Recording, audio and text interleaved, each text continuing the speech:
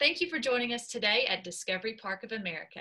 I'm Katie Jarvis from Discovery Park of America here in Union City, Tennessee, and I will be your host for this and other lessons with professors from the University of Tennessee at Martin. These lessons are for students in grades 6 through 9, but they will be of interest to anyone. Today, I'm excited to introduce Dr. Ann Gathers, an Associate Professor of Biological Sciences at UT Martin. She'll be giving us a lesson on the sun's ultraviolet light and the effects it has on our skin. So, Dr. Gathers, thank you so much for joining us today. Well, thank you, Katie. I appreciate the opportunity. Yeah, so what are we going to talk about first? Are we going to do a little experiment? Are we going to do a PowerPoint or? Uh, I'm going to show you a few pictures and go over um, the sun's light, including ultraviolet light, and then show you the layout, I'm calling it the mapping of the skin. And then we'll talk about um, what ultraviolet light does to the skin and to some other parts of the body. And then I have a little experiment here or demonstration I'd like to show you and talk to you about another one that I have here too that you could do at home. Awesome. Well, thank you. Well, let's go if you want to start screen sharing and we'll do a little PowerPoint. I'll, I'll do that. I love the sun, especially during the summer months. I know right now I'm wearing my sweater, so my skin is covered. Maybe my golden tan, and we might talk about that in a little bit. So yes, we might do that. I, I don't have much of a tan right now either. Not that I have much of one ever, but um, you you know the sun is we think of this big ball of energy it's bright and it's hot mm-hmm. and it's obviously essential for life on earth and when we think about the sun and giving out light it's usually the light that we see which is only a small part of all of the light that's emitted from the sun all of the light that's emitted from the sun is called the electromagnetic spectrum or sometimes it's called electromagnetic radiation and within the electromagnetic spectrum, we have the visible light spectrum, and that's what we see. That's what our eyes can detect. So a lot of times that's all we think about. But the electromagnetic spectrum really entails a whole lot of other types of light. Some of those types of light have less energy than the light we see, the visible light spectrum, like infrared and radio waves, TV waves, all of those things that we take for granted, but we use all of the time. And then some of the other light energy on the other end of the spectrum, past the, the other end of the visible spectrum, has a lot more energy, like x-rays. We think about x-rays can be harmful, so we wear our lead cover-ups when we have to go get an x-ray. Um, but just between visible light in the spectrum and ultraviolet, I'm sorry, and um, x-rays, we have ultraviolet light. And we hear about ultraviolet light, we hear about it in the news, we read about it, but it's not something we can see. It's outside of that visible spectrum. So a lot of times, as anything that we can't see, we just kind of forget about it or we don't pay as much of attention to it. So I wanted to talk a little bit more about it and focus on it and really what it does to the skin and to the eyes. And when we talk about ultraviolet light, it has shorter wavelengths, which means it has more energy than visible light. And we can break it down, actually, the ultraviolet part of the spectrum into UVA, UVB, and UVC. And UVA and UVB are probably the ones you've heard the most about. So we'll talk about those more in a minute.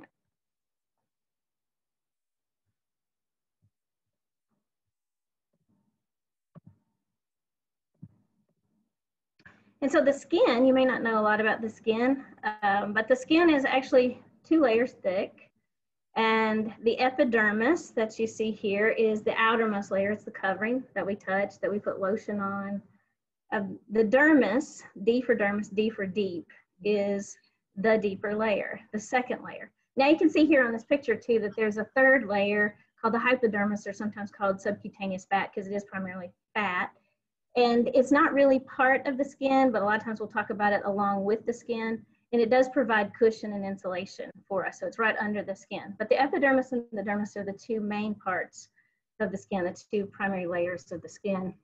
I remember studying the skin, and we would always, this was like sixth grade or something, we'd always joke and say, Your epidermis is showing. Oh, good for you. So you knew it was the outer layer. Excellent.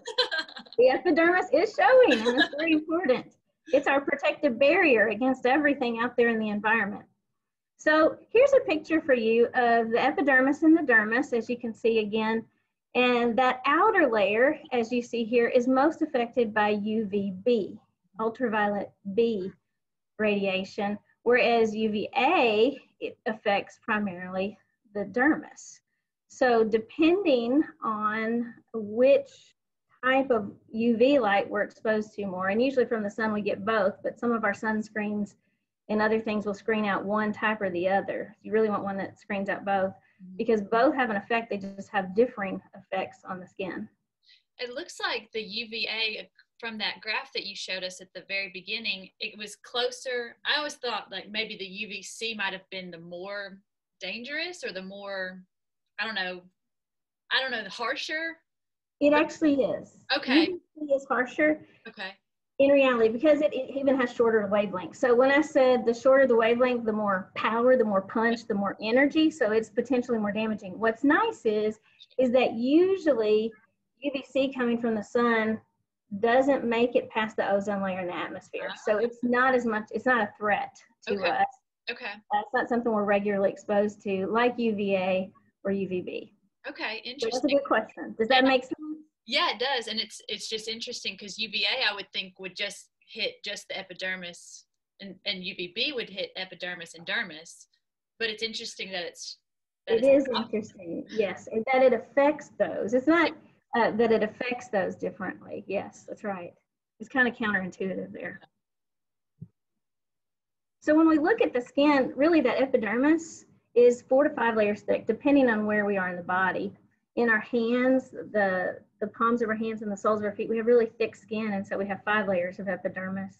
Whereas maybe our bellies, our neck, our face, we have four layers of epidermis. But in general, we have four to five layers of epidermis.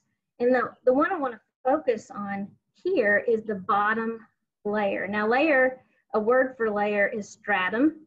So these are all referred to as stratum corneum, stratum lucidum, stratum granulosum.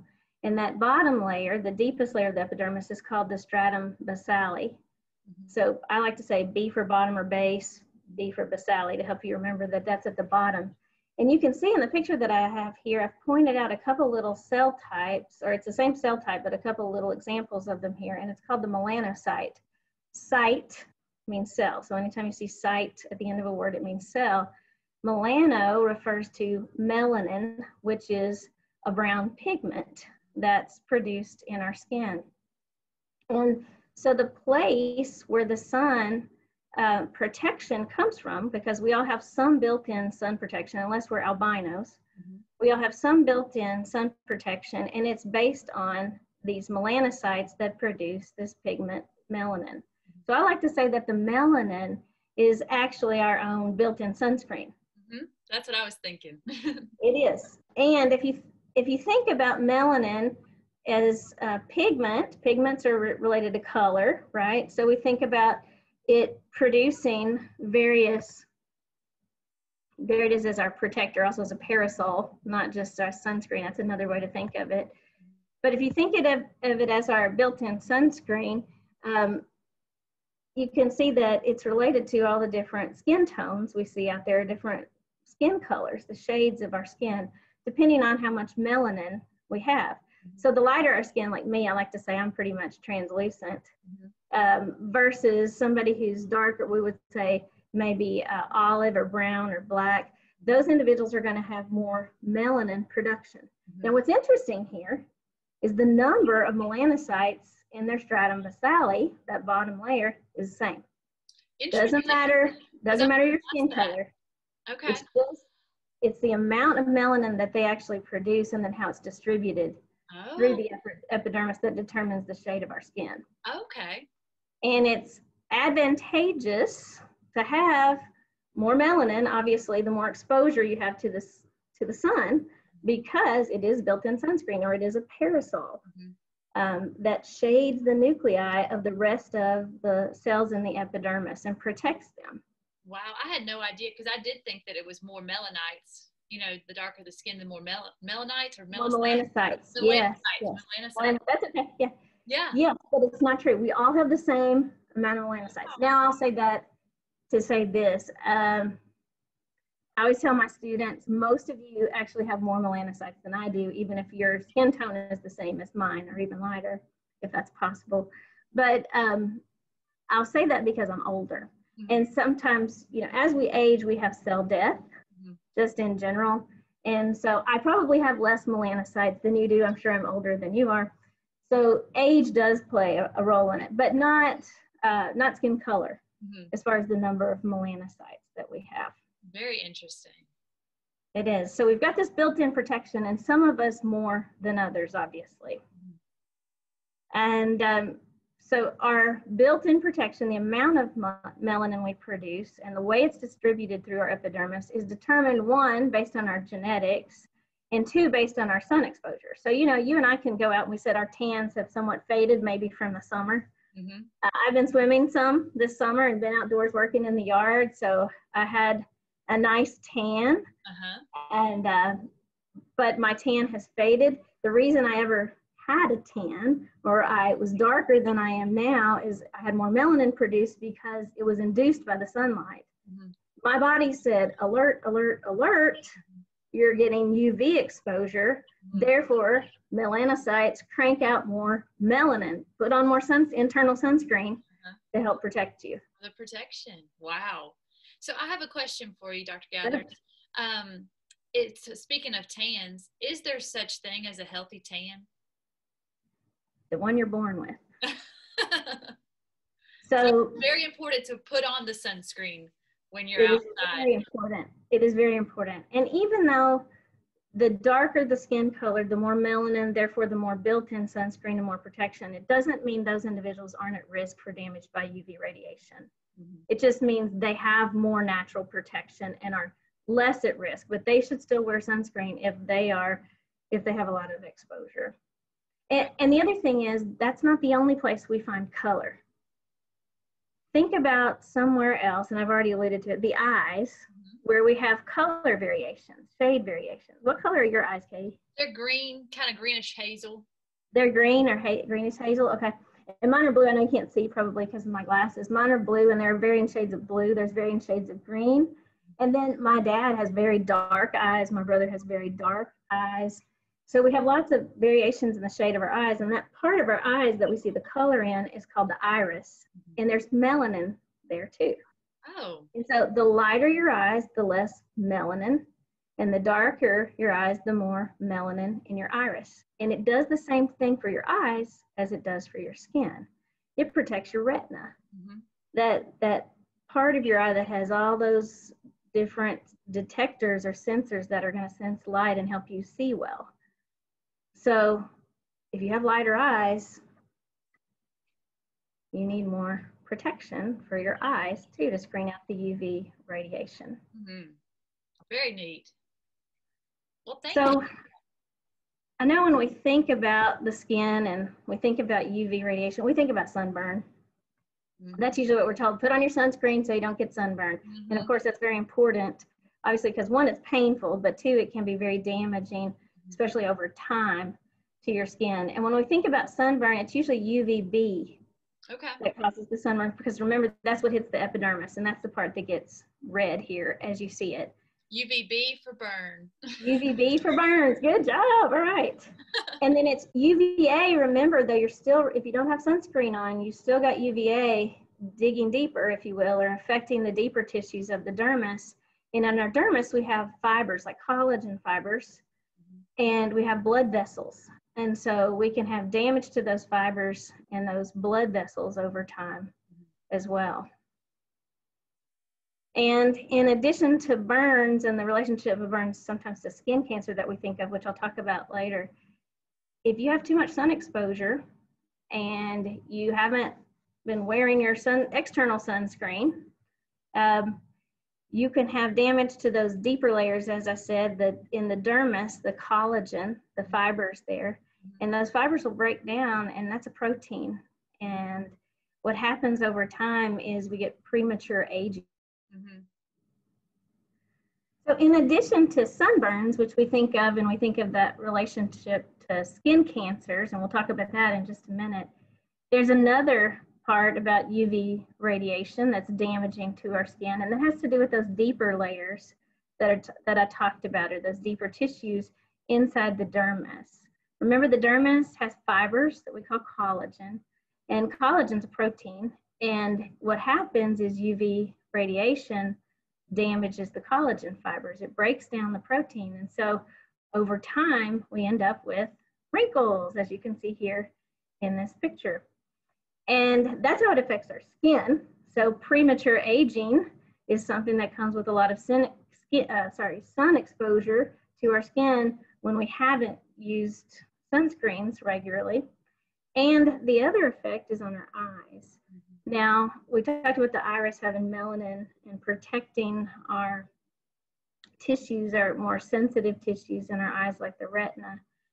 But there's also another part of the eye called the lens. Mm-hmm. And the lens, what happens to it when there's a lot of UV radiation is we get clumping of proteins. And that clumping of proteins in the lens results in a clouding of the lens, and we know it as cataract. And we can get premature cataracts or cataracts earlier than normal if we have a lot of sun exposure and we're not using protection for us. So UV radiation damages the skin and the eyes potentially. I think I've always heard of, you know, wearing the sunscreen, that's super important to protect your skin, but I never even thought about the eyes. You know, I think a lot of us just wear cute sunglasses or fashionable sunglasses just for the fashion of things, but it actually does serve a purpose of protecting our eyes from from the UV lights, which I did not realize.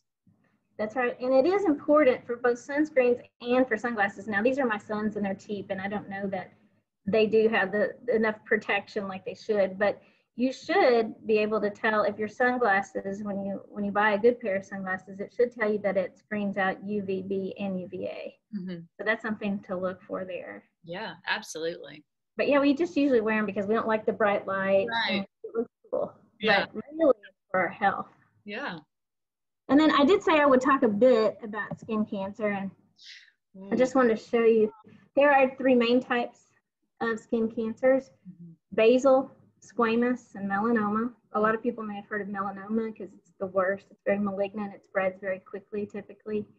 Um, basal, I like to say B for basal, B for best. If you're going to have a skin cancer, this is the best type to have. It doesn't, it's not very aggressive. It doesn't spread very easily. Of course, you still need to get it treated. And then squamous is kind of right there in the middle. And squamous a lot of times appears as a raised bump or a sore mm-hmm. that won't heal. So if you notice a sore that won't heal on your skin or this kind of irritating raised bump, maybe sometimes with a pit in it, even if it isn't a sore, you should get that checked out. But any kind of new spots on your skin, changes in the size or the shape, um, and the color of a spot, or like I said, something that doesn't heal, you should get it checked out because skin cancers are they're cancers, so mm-hmm. they they are important as far as attending to for health. Now, the reason we get skin cancers is again because usually the UVB rays mm-hmm. are damaging the epidermis and they cause mutations, changes, dangerous changes, harmful changes in the cells mm-hmm. in our epidermis. So let's take a look then. Let's see if we can see UV rays. We said we can't see UV radiation, that it's not within our visible light spectrum, but there is a way to kind of indirectly see it and prove that it exists. Okay. So let's take a look at that right now. Okay? I'm excited. I'm gonna, I'm gonna stop sharing. Okay. And get this off the screen here so you can see what I've got here. So I have two different types of water. One is just regular tap water that we get out of the sink. And I filled this up to be a good scientist to about 200 milliliters. And I've got tonic water. This is just the brand locally that I could find. But tonic water has quinine in it. And you may have heard of quinine because quinine has been used to treat malaria.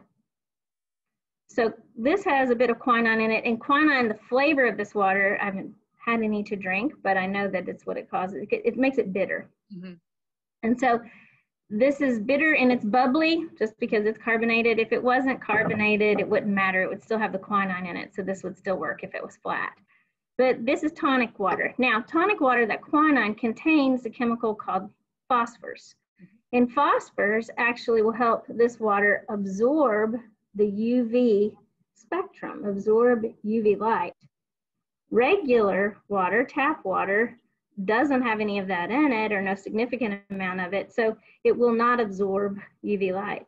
And when this absorbs UV light, this tonic water, what happens is the electrons in here get excited, the molecules get excited, and in doing that, they emit light. So we'll be able to see, we should be able to see this little nice blue hue that comes from this, or light, nice blue light shimmer that comes from the tonic water. And when we put the UV light over this, we will not.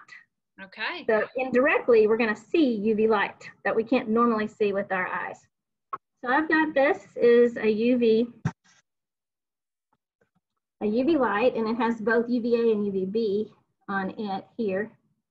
And it says caution, do not expose eyes or skin to ultraviolet light. So what we've been talking about, this can be damaging. So you can do this at home, but don't shine it on your face or on your skin. Always keep it down towards the, the waters. Um, and I borrowed this from our chemistry department, thanks to them. And then I've got another UV wand here, and this UV wand actually uses UVC. And this is the type that's used to desanitize things. Oh. Or, uh, to, I'm sorry, to not desanitize, to sanitize yeah.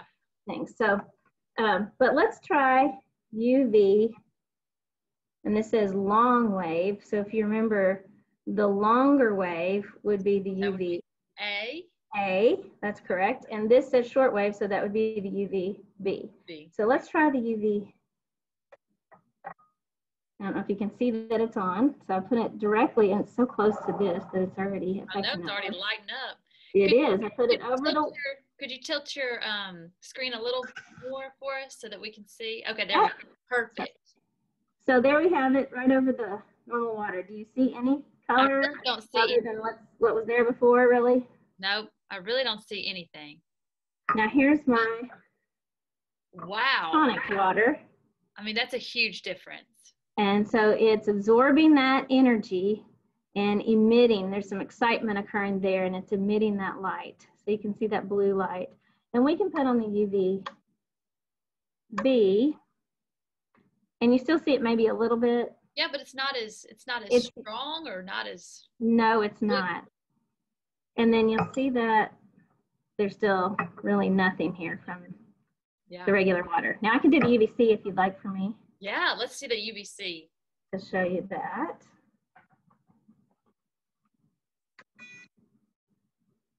Do you really see anything here? Nope, not in the regular. What about here? Yep, I see a little blue.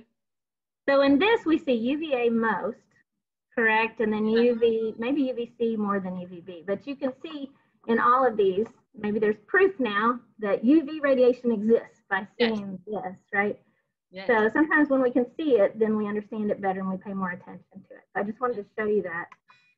And as I mentioned before, there's another thing that you can do at home. You just take a piece of construction paper, any color, really darker colors are easier to see this on, but any color, and you can experiment and try different colors to see what effects you might get with different colors. And you would take it out in the sun, collect some leaves of different shapes. This is a great time of year for that. Mm-hmm. Collect maybe some flatter bark, some weeds, things like that, to put on it and lay it on top in a pattern if you'd like, and then cover it with cellophane or cling wrap mm-hmm. and hold the edges down with some rocks so it doesn't all blow away and leave it out in the sun in direct sunlight for a few hours. Mm-hmm. Now you can do it with plexiglass over it too, just to make sure that the light can go through and you can hold the, the things down.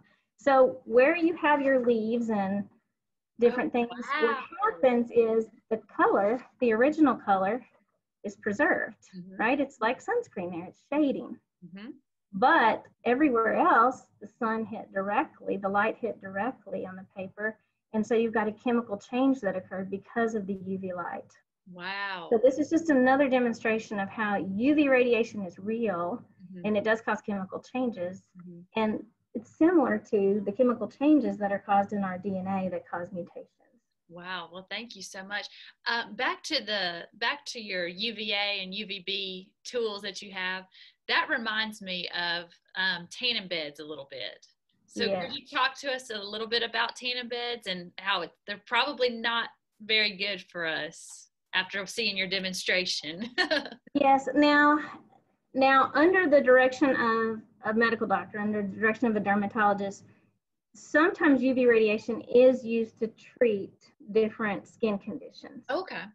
But that's lim, they know the dosage, they know the wavelength, and it has to be under their care. Mhm. Um, but otherwise, just going to a tanning bed to get a healthy tan, as we said, is Uh-huh. not healthy because we are exposing ourselves to things like this that said, do not expose eyes or skin to ultraviolet. Right. That's what made me think of that when you read that to us. Yes. Oh my goodness. I have another question for you too, talking Okay. about your the water demonstration. So I went to the beach this past summer and I did put on my sunscreen. I will I will Yeah. share that. but um that water is salt water.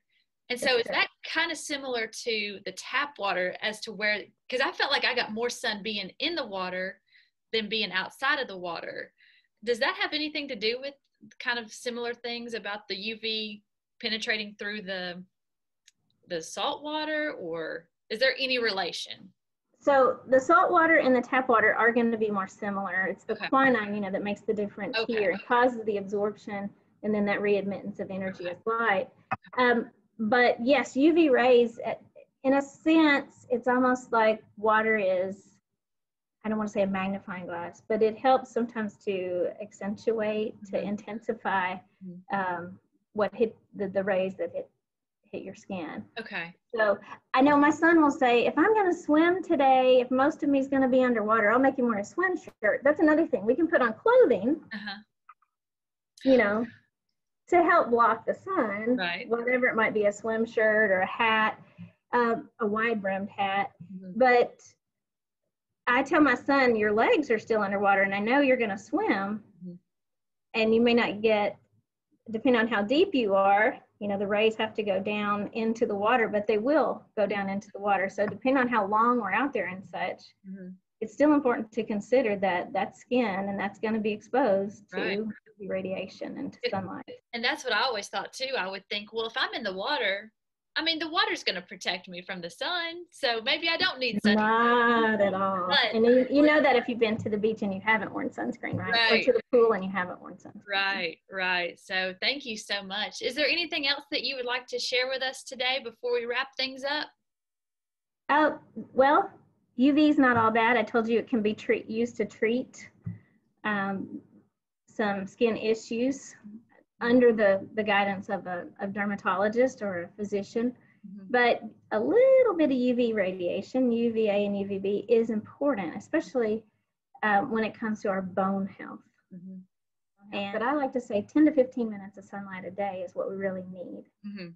And that's because UV radiation causes vitamin D production. I was about to ask that question. What about the vitamin D? I've always heard a little vitamin Yes. D will help you, you know, throughout the day.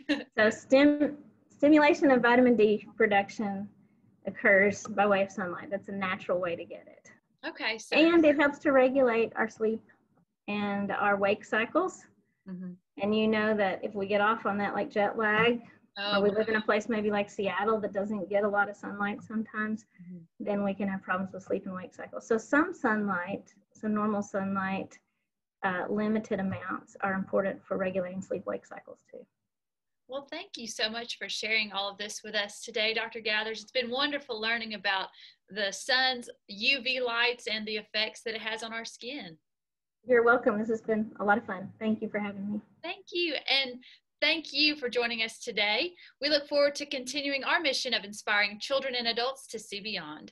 For more educational resources, visit our website at discoveryparkofamerica.com slash education. Thanks for joining us.